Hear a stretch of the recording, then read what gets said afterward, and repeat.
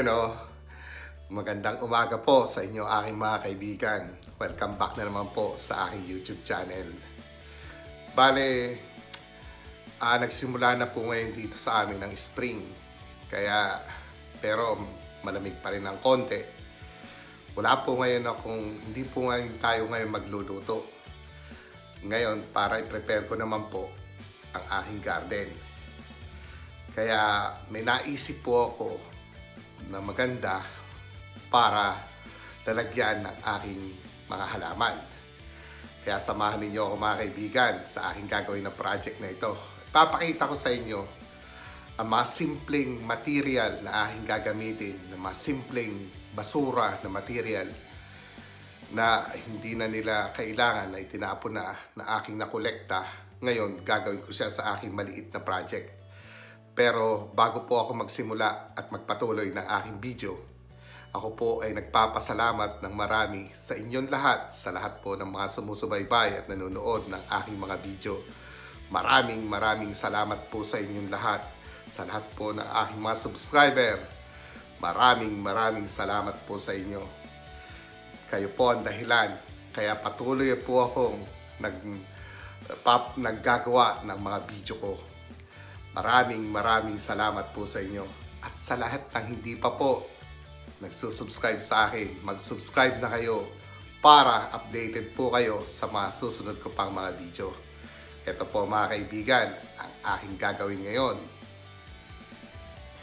Ito po, bale, yung mga nakolekta ko ng mga itinapon nilang mga kahoy na ngayon ay gagawin ko siya sa aking project para sa aking mga halaman. Kaya panoodin po ninyo ang project kong ito. Ay papakita ko sa inyo na simple lamang kung paano ko siya ginawa. Ito po, panoorin po ninyo.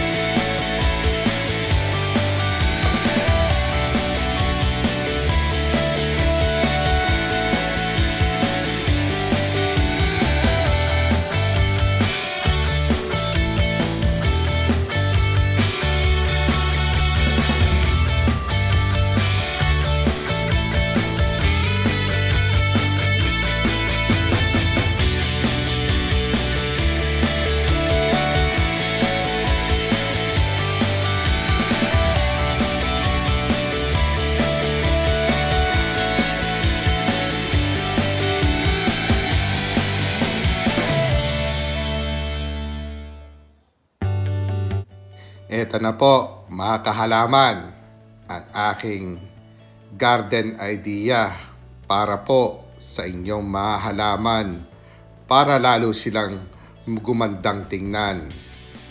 Mga simpleng material, simple lamang pero pag naiayos po natin, gaganda po ang ating mga halaman. Maraming maraming salamat po sa inyong muli. Hanggang sa susunod ko ulit na mga video. Maraming maraming salamat po.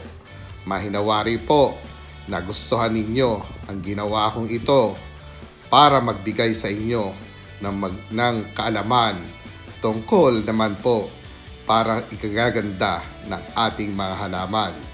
Maraming maraming salamat po sa inyong lahat. Hanggang sa susunod po muli. Sige po, panoodin po ninyo ang aking finished product na ito ng aking project.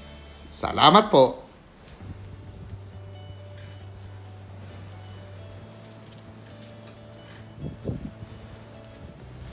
Ito po ang aking garden arrangement para dito sa aking project na ito. Pwede po ninyo silang ilagay sa labas sa harapan ng inyong bahay o sa inyong garden para ayusin. Maraming salamat po. Hanggang sa susunod na muli.